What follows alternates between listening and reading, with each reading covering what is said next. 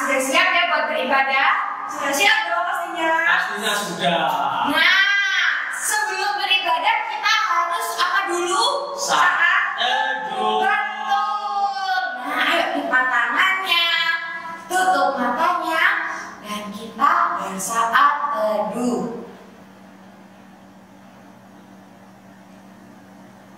Saat teduh selesai.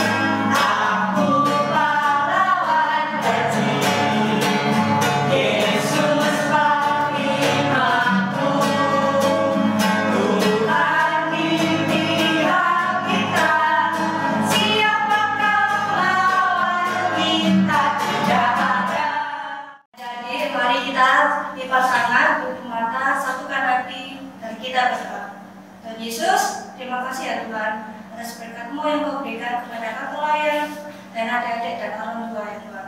Tuhan, berkati kami, lindungi kami dari awal hingga akhir ya Tuhan. Terima kasih ya Tuhan. Amin. Adik-adik, kita akan mendengarkan kesaksian pujian dari adik Olivia dari sektor Yerusalem. Yesus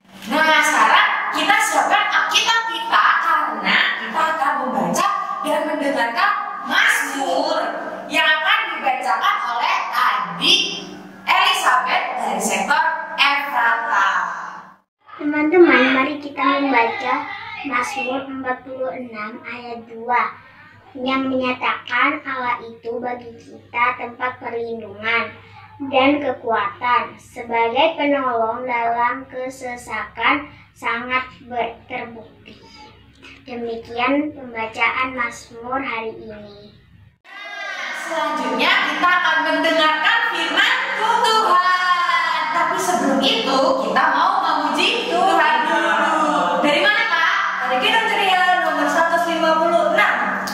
dan bumi akan lenyap.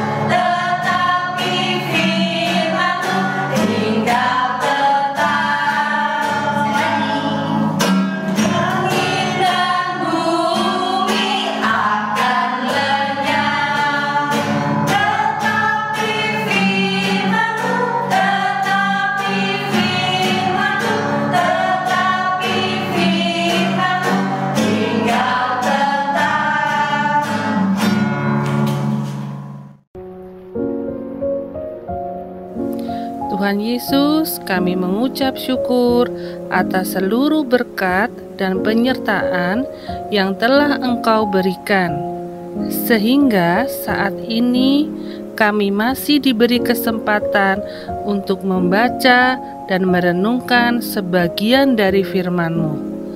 Tuhan Yesus, bukalah hati dan pikiran kami, dan biarlah firman Tuhan yang akan kami baca dan dengar ini dapat menjadi pedoman dalam kehidupan kami.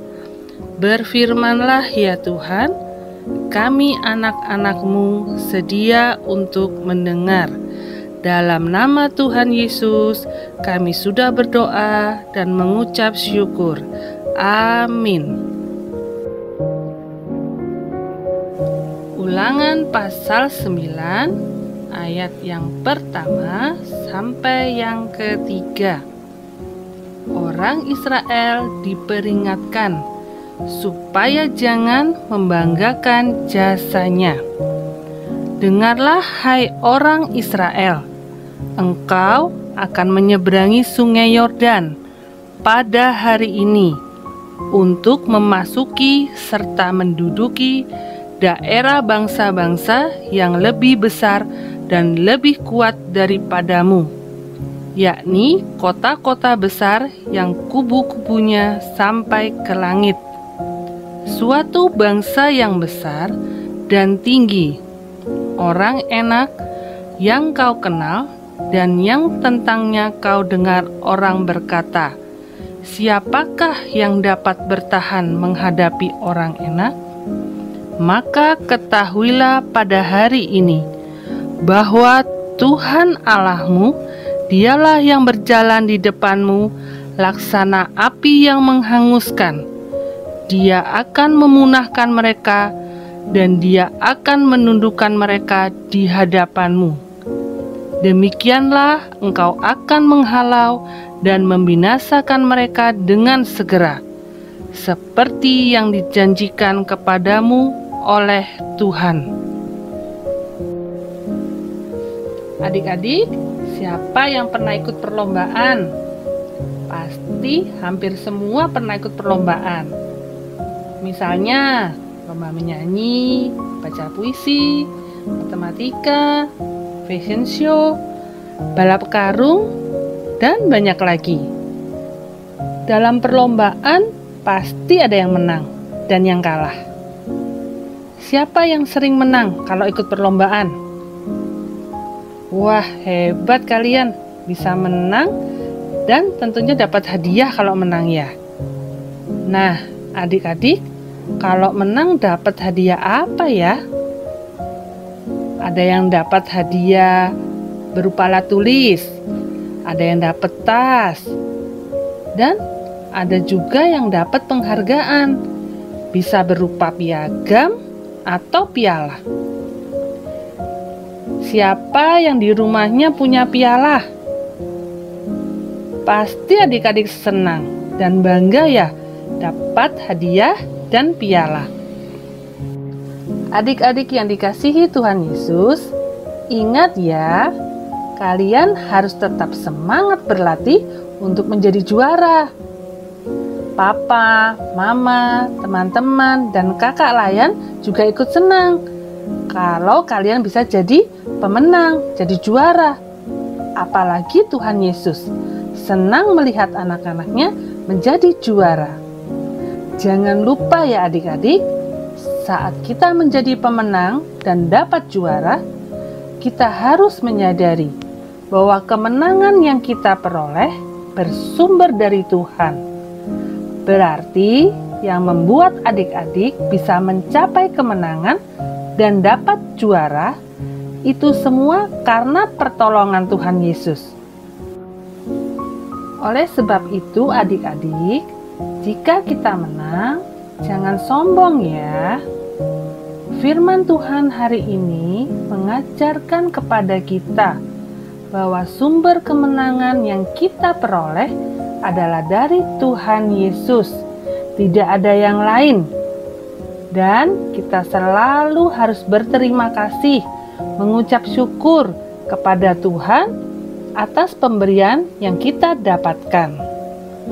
Nah, yang Tuhan Yesus inginkan dari adik-adik saat jadi pemenang, jadi juara adalah berterima kasih kepada Tuhan Yesus dan tidak boleh merasa hebat dan tetap rendah hati. Jadi, adik-adik, setiap mendapat atau menerima hal-hal yang baik, adik-adik harus mengucap syukur kepada Tuhan Yesus. Kita harus berkata, "Aku menang karena Tuhan." Tuhan Yesus memberkati adik-adik semua.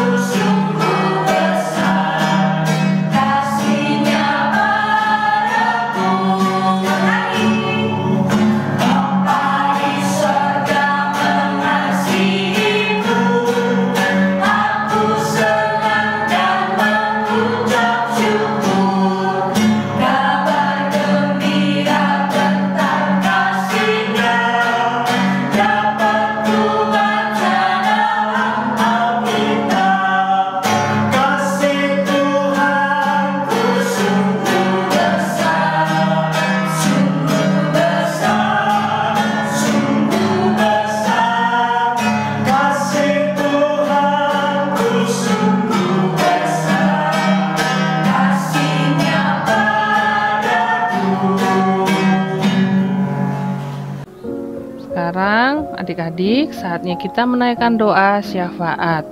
Mari kita berdoa. Tuhan Yesus, terima kasih untuk firman yang sudah kami baca, kami dengar, dan kami renungkan bersama. Kiranya firman-Mu boleh menjadi pedoman dalam kehidupan kami hari lepas hari dan mampukan kami melakukan firman-Mu dalam kehidupan kami. Tuhan Yesus, kami juga mau berdoa bagi adik-adik layan kami yang sedang sakit dalam kelemahan tubuh. Kiranya Tuhan Yesus mau menjamah, menyembuhkan mereka melalui obat-obatan yang mereka konsumsi, juga melalui orang tua yang merawat mereka, sehingga adik-adik layan kami boleh beraktivitas seperti sedia kala. Tuhan Yesus, kami juga mau berdoa bagi adik-adik kami yang berulang tahun. Tuhan, terima kasih kami boleh mengucap syukur dan bersuka cita bersama adik-adik layan kami yang sudah Engkau tambahkan usia mereka satu tahun lagi, sehingga mereka boleh menjadi anak-anak yang takut akan Tuhan di mana pun mereka berada. Tuhan Yesus, kami juga mau berdoa buat adik-adik layan kami yang sedang dalam pembelajaran daring Tuhan. Mereka yang berada di rumah, kiranya Tuhan mau berikan mereka semangat untuk belajar. Juga kami berdoa bagi Bapak Ibu guru yang memberikan pembelajaran secara online.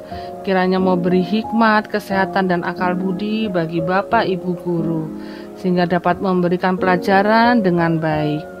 Kami juga berdoa bagi gereja kami GPIB Bethesda. Kiranya Tuhan mau berkati mulai dari Bapak Ibu Pendeta yang sudah Engkau tempatkan, para majelis, dan semua yang terlibat dalam pelayanan di dalam gereja kami Tuhan. Tuhan Yesus, kami juga mau berdoa buat bangsa dan negara kami Indonesia. Di dalam masa pandemi saat ini Tuhan. Tuhan mau lawat bangsa kami, Tuhan mau memampukan pimpinan-pimpinan kami untuk melewati masa sulit ini. Semua atas penyertaan-Mu Tuhan. Tuhan Yesus, doa yang kurang sempurna ini kami alaskan ke dalam nama Tuhan yang sudah mengajarkan kami doa bersama-sama. Bapa kami yang di surga, dikuduskanlah namamu, datanglah kerajaanmu, jadilah kehendakmu di bumi seperti di surga. Berikanlah kami pada hari ini makanan kami yang secukupnya, dan ampunilah kami akan kesalahan kami, seperti kami juga mengampuni orang yang bersalah kepada kami. Dan janganlah membawa kami ke dalam pencobaan, tetapi lepaskanlah kami daripada yang jahat, karena Engkaulah yang empunya kerajaan dan kuasa dan kemuliaan sampai selama-lamanya. Amin. Sebelum kita ibadah pada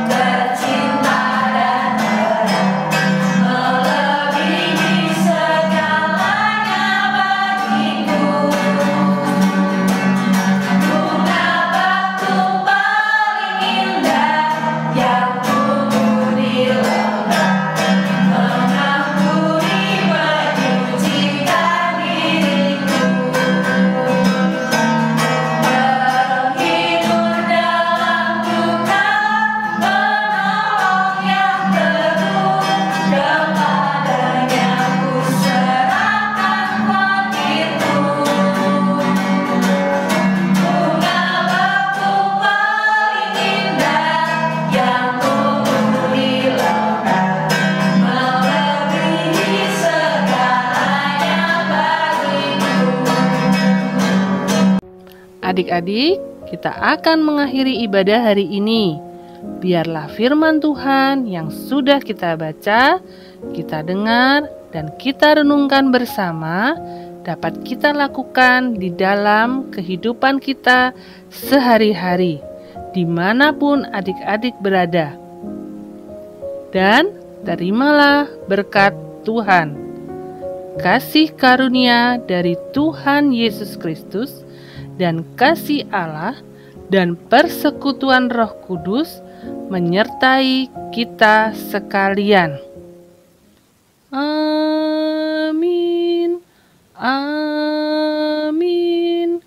Amin. Nah, pada hari ini sudah